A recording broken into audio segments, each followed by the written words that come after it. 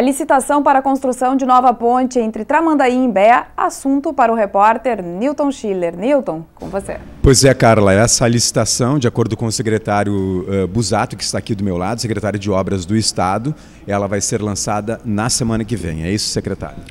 É, nós tivemos uma audiência pública é, em Imbé essa semana, onde nós conversamos com os prefeitos das duas cidades e apresentamos cinco alternativas de travessia é, entre Tramandaí e Imbé. É, dentre as cinco foram selecionadas três alternativas. Uma delas, é, o, e a mais imediata, onde nós queremos fazer já o projeto executivo da ponte, é onde era a antiga Ponte da Sardinha, né? que liga então Tramandaí com Imbé.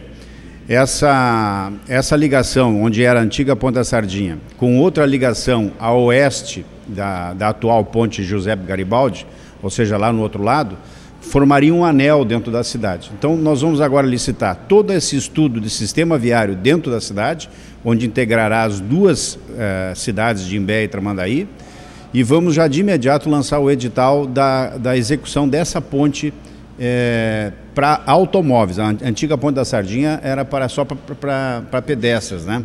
E, e, pesca, fundamentalmente, que se fazia ali. Então nós vamos agora lançar esse edital.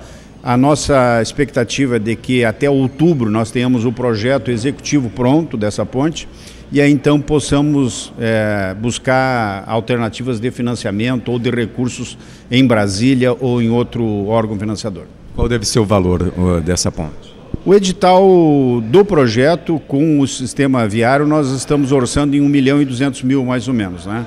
Agora, o, a estimativa do custo da ponte, o projeto é que vai definir isso aí. Agora, esse traçado ele já está definido, né? Deve uh, ser uh, basicamente onde está essa ponte atual.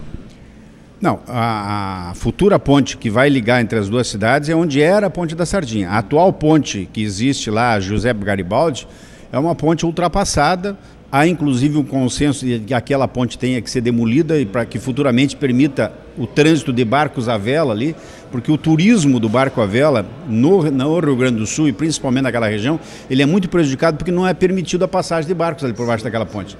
Então a ideia já é fazer a nova ponte ou alta ou com ou móvel para que se possa é, ter o trânsito de barcos, né? E futuramente se demule a Giuseppe Garibaldi, se constrói outra ponte e depois faz outra ponte à esquerda dela. Agora, secretário, para que o telespectador consiga se localizar, essa antiga ponte da Sardinha que o senhor fala, ela fica um pouco mais abaixo dessa ponte atual, onde passam os automóveis, ou um pouco mais acima ali do rio Tramandaí? Ela fica bem próximo ao litoral, a, a, a boca do rio onde desemboca no mar. Ela é a continuação da Avenida Beira Mar, que pega Alfredo Elias e liga a Caxias, a rua Caxias no, no, município de Imbé. Então é a ligação da rua Caxias no município de Imbé com a Alfredo Elias no município de Tramandaí. Então essa ponte na verdade vai ficar mais próxima à beira-mar. Mais próxima à beira-mar. Essa ponte é a que primeiro nós vamos agora é, tratar do assunto dos projetos dela. Depois, futuramente, uma outra ponte do outro lado, né, que seria a ponte onde ligaria a Avenida do Litoral que daí pegaria todo o trânsito pesado de norte a sul do litoral. Isso tá. Qual é o custo desse, dessa outra ponte? Essa outra ponte é uma ponte muito mais extensa, com, com é, entraves ambientais muito mais sérios, que nós vamos ter que tratar a longo prazo. Então, por isso que nós vamos agora, é, de imediato, tratar do assunto da Ponte Sardinha. Até porque ali já existia uma ponte e talvez as liberações ambientais sejam melhores.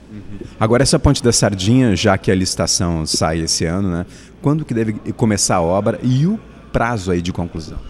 Bom, o que, que acontece? Em outubro, que é a previsão que nós tenhamos os projetos prontos, nós não temos recursos para a obra. Nós vamos, em outubro, iniciar o calvário da busca de recursos. Então, nós vamos a Brasília, no Ministério da Cidade, Turismo, Integração, enfim, vamos fazer um, um por todos os ministérios para tentar conseguir o recurso da ponte. Nós não sabemos ainda o valor dessa ponte, né? porque o projeto executivo vai ser feito agora nesse momento. Então, quando nós tivermos o projeto em mãos, o valor da obra, porque sem projeto não se consegue dinheiro. Né? Então, a ideia nossa é com o projeto na mão e na busca desses recursos. O que o governador Tarso Genro fez foi nos possibilitar é, a execução do projeto, que já é um grande passo.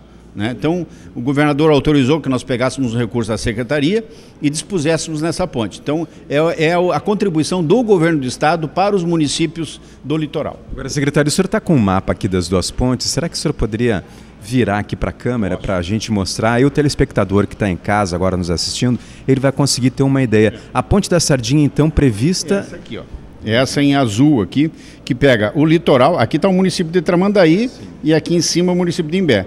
Então a Avenida do Litoral ela teria continuidade, aqui ela dobraria e seria aqui onde era a futura, antigamente a, a Ponte da Sardinha.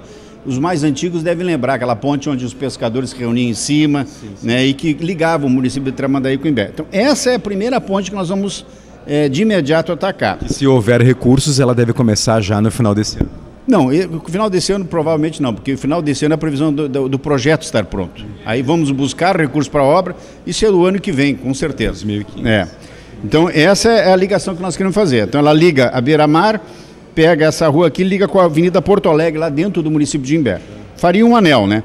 E essa outra vermelha aqui, ó, que pega a continuação da Avenida do Litoral, essa é que eu falo que é uma ponte mais extensa, com, com é, entraves ambientais maiores, porque ela passa por dentro do rio. Sim. Então essa é a ponte que é, nós queremos depois, futuramente, num segundo passo, buscar recursos. Que onde vai concentrar o tráfego mais pesado. Mais pesado, exatamente.